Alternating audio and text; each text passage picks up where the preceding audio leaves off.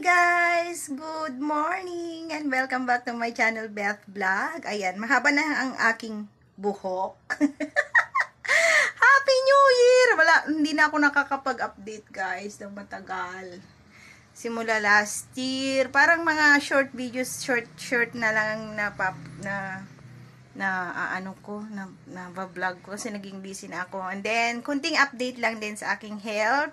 Finally, okay. So far, so good. Okay na ako. Medyo nasa 80% and okay na. Something like that. So, ayun guys, nagluluto ako ng munggo na aming ano, aming tanghalian. Almusal tanghalian na. Puro healthy ulam na ako guys ngayon. So, ayan guys, papakita ko sa inyo. So, ayan, pinapakuluan ko ng aking munggo. Mayroon na rin siyang halong kunting karne. So, yan ang ating lunch. At saka lalagyan ko lang din siya guys, ito ng dahon ng ampalaya. So, ayun na nga guys, mag-update-update lang tayo ng kwenta, ng konti. Kasi, gusto ko sanang mag-live Kaso nga lang, yung isang phone ko, yung dating phone ko na ginagamit ko, ay nasira na.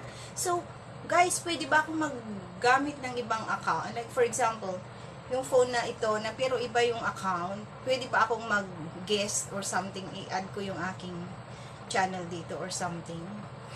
Di ko alam eh, tagal-tagal ko na kasing wala na talaga akong update guys. So, ayan. So, ang update sa aking health, tapos na lahat ng aking mga medical procedure.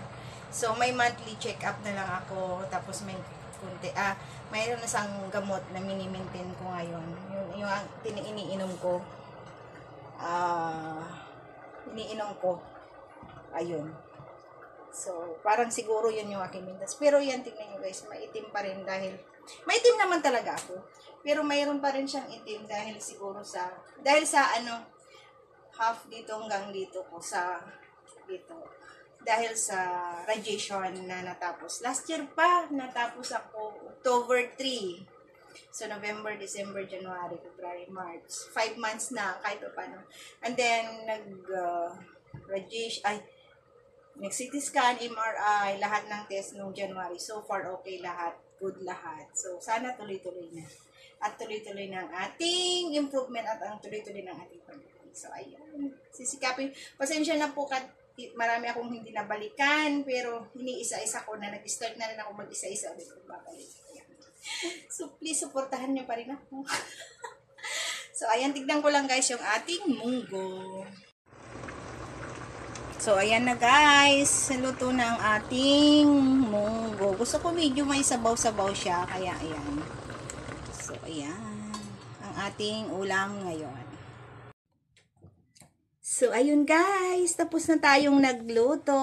At ayan.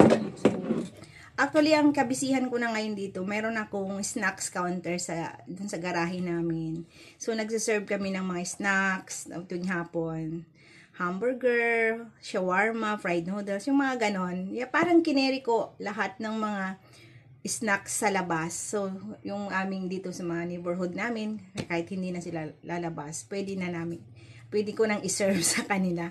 So, hindi naman siya ganun kabigatan. So, kaya nakakapag, uh, ano naman ako, nakakapag luto naman. Kasi kung fried noodles, sampling, kunting-kunting ganyan na lang. then, ayun, shawarma, kineri ko na rin, kineri ko na rin yung, kinuha ko na rin yung shawarma tapos, ano pa ba? Ayun, mga ganun lang. So, ngayon yun ang nagiging kabisihan ko. Pero, every month, meron pa rin akong once a month na check-up. And every 3 months, yung aking mga, mga blood chemistry, ganun. Kailangan i-monitor pa rin.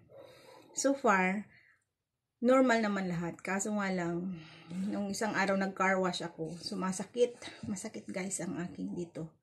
Yung sa opera. Kaya ngayon parang hindi ko maiano. So nag pain reliever ako. Uminom ako ng pain reliever.